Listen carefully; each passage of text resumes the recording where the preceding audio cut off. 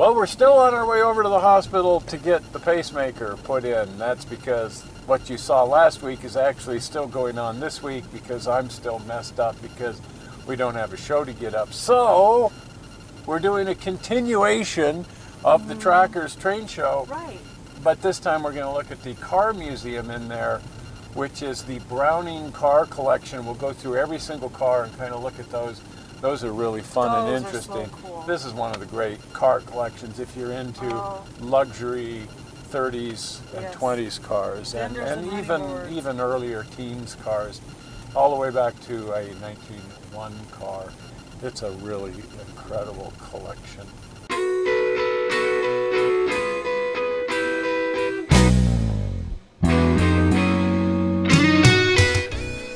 Now, the Utah State Railroad Museum is also home to the Browning Automobile Collection. So while the train show is going on, you can come over here and for no charge at all, you can scope out this amazing collection of cars that the Browning family has been putting together for years and years.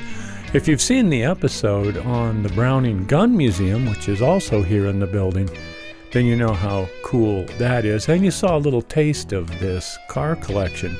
Now, this 29 Packard is sort of indicative of the cars that are here. Look at this cool compartment just to hold your golf clubs. Oh, and this very rare Graham-Paige. Now, this amazing 26 Lincoln belonged to Ernest Torrence, who was a silent film actor back in the 20s. There was a lot of money floating around in the 1920s, especially in the film industry. And luxury cars like these were being manufactured by the American builders and the European builders. Check out this Pierce Arrow. Now, that really made a statement when you showed up in a Pierce Arrow in 1929. This car is completely original, very low mileage original car. In the 1930s, cars looked a lot different. They started really evolving. Check out this 37 Packard. But going back the other way, this 11 Knox, look how much more primitive that looks compared to the 20s cars. I think I prefer the earlier cars. They're just so much kludgier and niftier.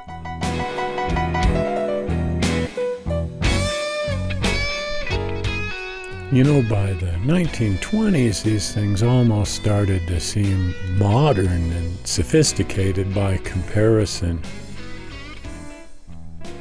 Check out this 30 Cadillac. Now, that was the height of elegance in the 1930s. This is a V16 engine. Wow! But if you're looking for the really, really early iron, it doesn't get earlier than this the 1901 Oldsmobile. This was the first car mass produced in America. The first automobile was built in Germany in 1895, so this is just six years later. And now Oldsmobile has fallen by the wayside, a victim of the crash of 2008. Now, here's an interesting artifact it's a brick from the Hinckley Dodge dealership. Hinckley Dodge was the first car dealership west of the Mississippi, and this was their structure. It was in Mount Pleasant, Utah, Karen's home.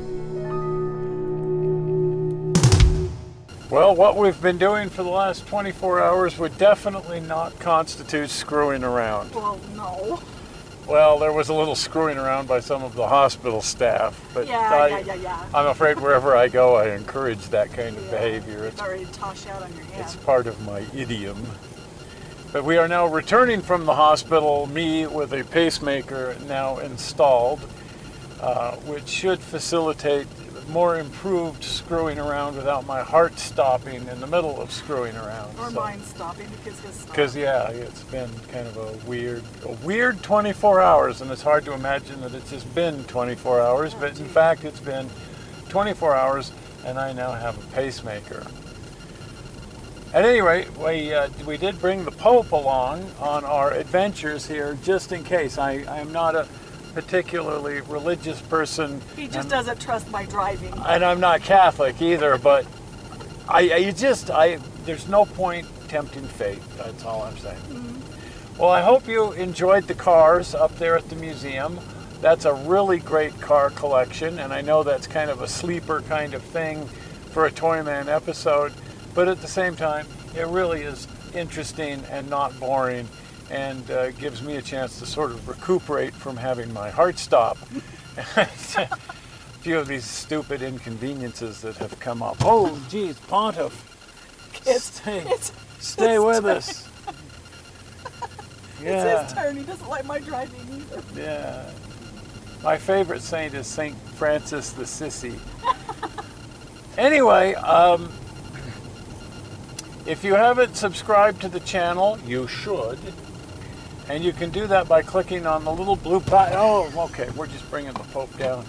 Um, clicking on the little blue button, you can go to the channel by clicking on the rocket ship, and that takes you to the channel.